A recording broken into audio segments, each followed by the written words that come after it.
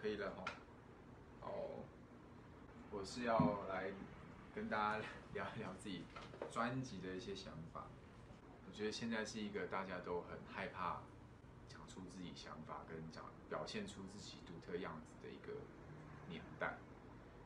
嗯，因为很多时候 讲出来的话，可能跟网络上面大部分人不一样的时候呢，你有可能会被归类在被攻击那一边，或者说风向不是往你那边吹的时候，会遭到很多言语的伤害跟辱骂这样子。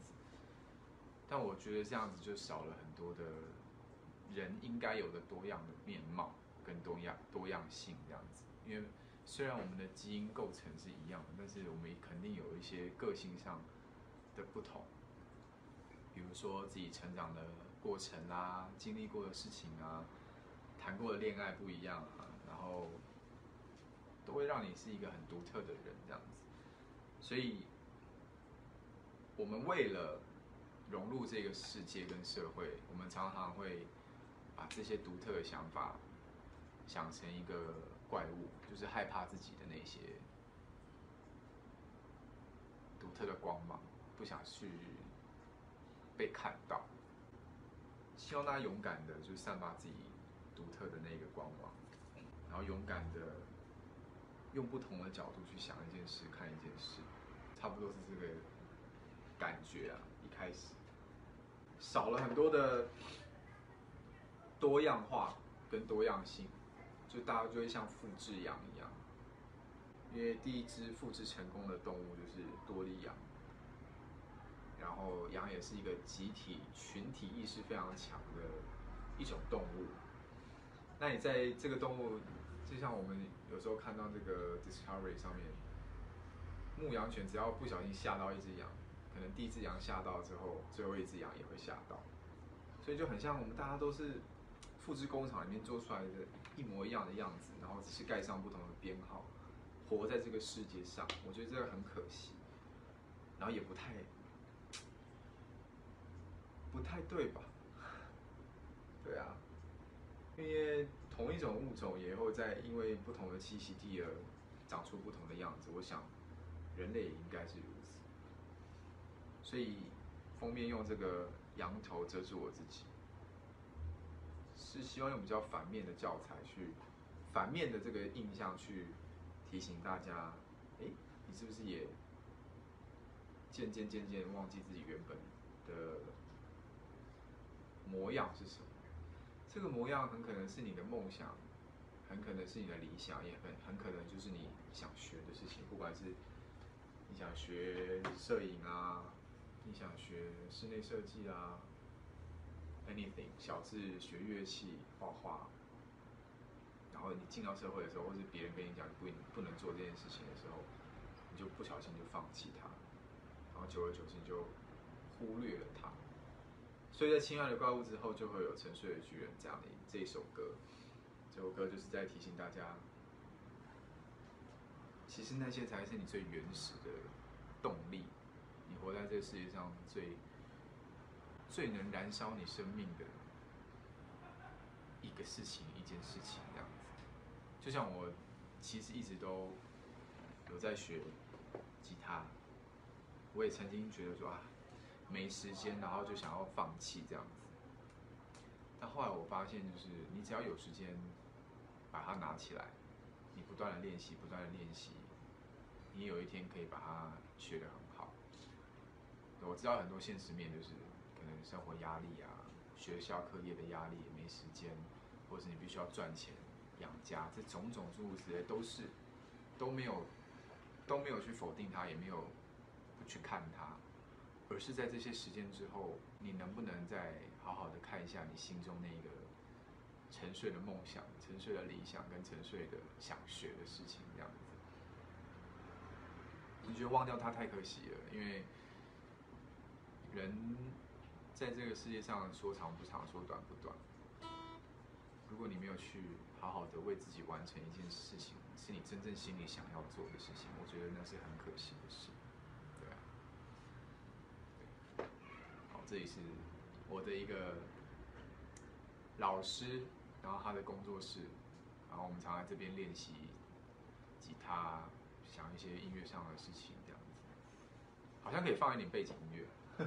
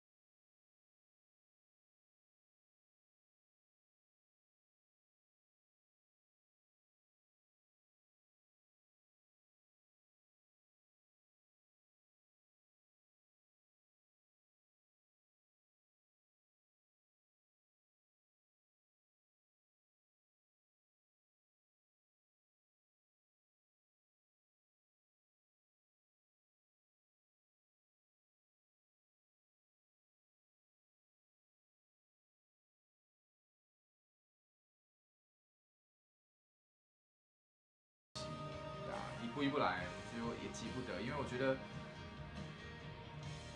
在做创意这件事情，最怕的就是急，然后急了你就会很长，就会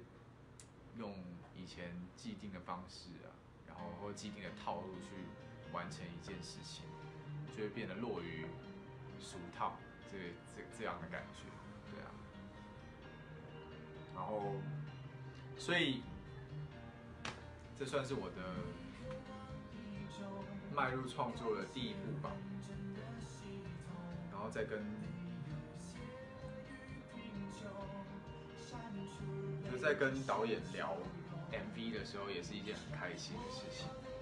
当时看到歌词的时候，就心中有很多画面，然后这些画面有一部分把它套用在这个黑镜的这种感觉里面。不知道大家有没有看过黑镜？它是用比较黑暗的方式来形容现在科技会带给人类什么样的冲击。我一直对一集非常有、非常的有感觉，是社会上的像那个那个时那个空间里面，社会上每一个人都必须要被评分。然后你如果九十分以下，你就不能参参与什么样的聚会，不能租什么样的车，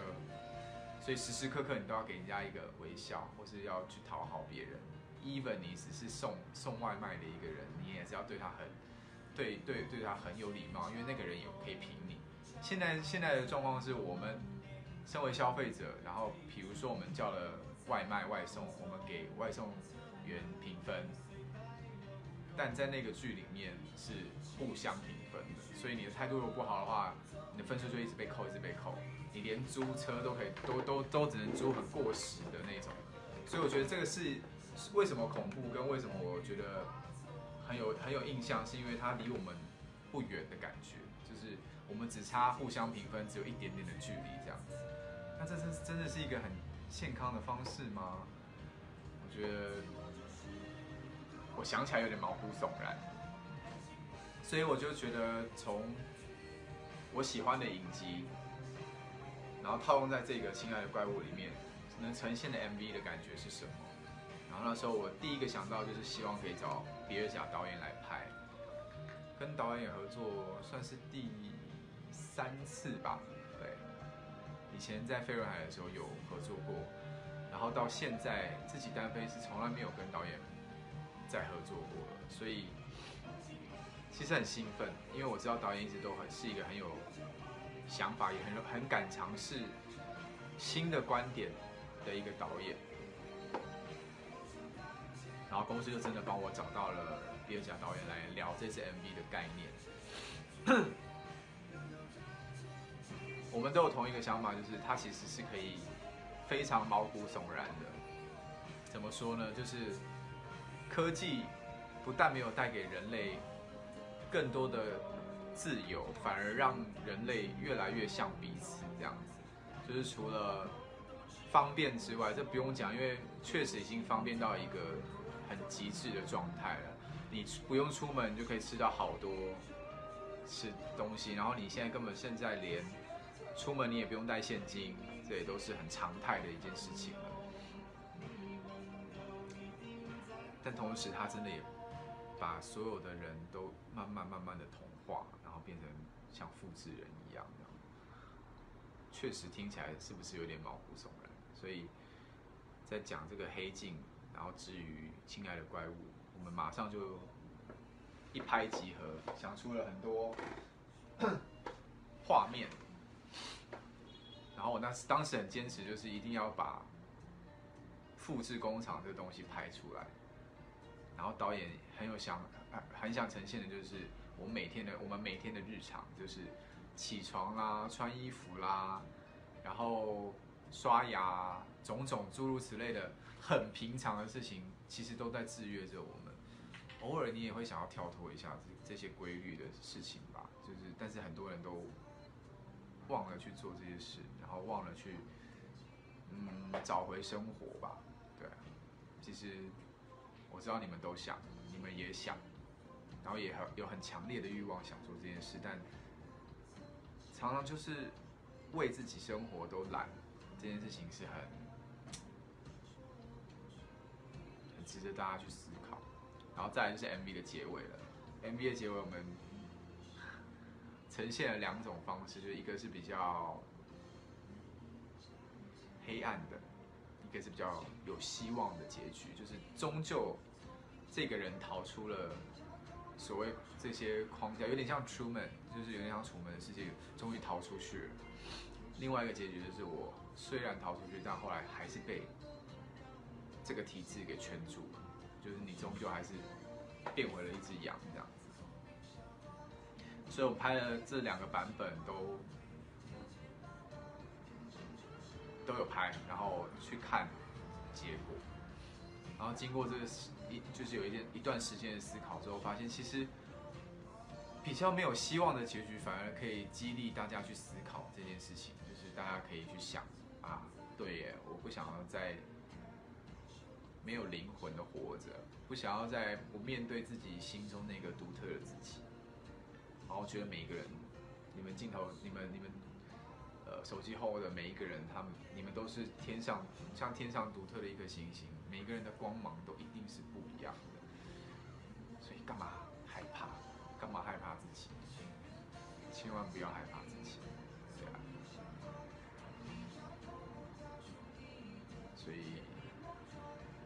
大概就是这样子，然后形成了我亲爱的高物这张一批的形状，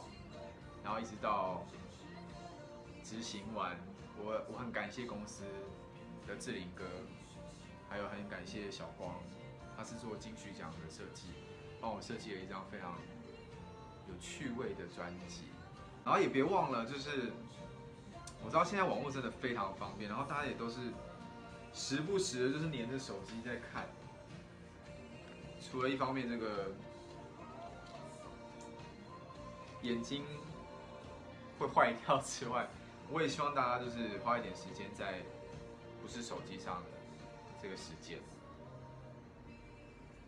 包括跟自己的朋友交交交流交往，你必须要真正的相处，你才会有真正的情感发生。就很多人也会跟我讲，现在很多小朋友也会跟我说啊，现在很难交到真正的朋友。但是相对你有真的去花。实实在在的时间去陪你身旁你想要成为朋友的人吗？这一点是反而我们要问问问我们自己的。所以，在任何事情想任何讲想抱怨任何事情之前，就先想想自己有没有做到这件事。这样子，我很期待大家多放下手机。其实有时候吃饭，我们约出去的时候，还还是大家都在拍照啦，然后。用手机在交交流，就不太懂这件事，就是还是得放下。放下之后，认真的眼对眼去跟所有的人，所有在场的朋友，好好的聊聊天，聊聊近况，关心一下彼此，然后感受一下人跟人之间本来就应该有的温度，这是很重要的。我没有叫你们放弃手机，而是手机之余。我觉得最重、更重要的是人跟人之间的那种连结吧。这连结是你没办法透过手机知道，因为手机有太多太多包装了。他想要打什么，他想要写什么，他甚至可以把自己包装的非常不同，没有不好，但是你没办法知道这个人真正的样子。是什么。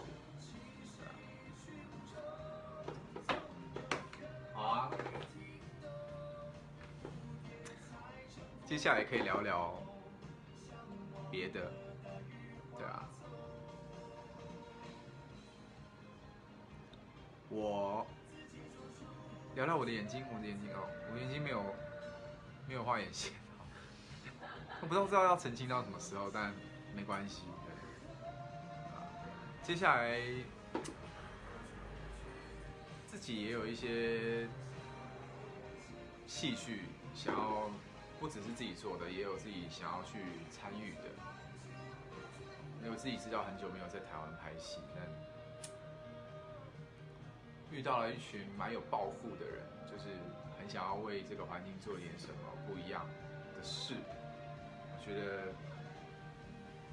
我也蛮开心、蛮兴奋的。就是如果真的将来可以合作成功的话。也许我们会做出一些不一样的，让大家觉得哦，好棒的戏这样。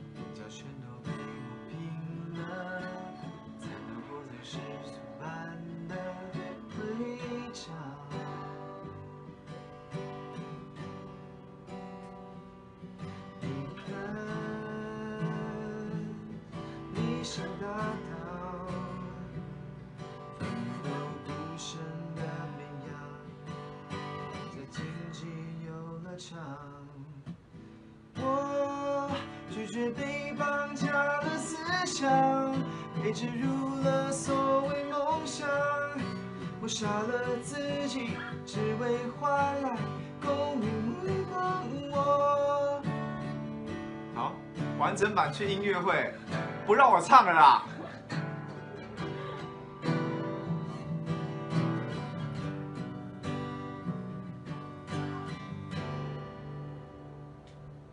好，先一段就好。哦，不让我唱是不是？好好好，随便。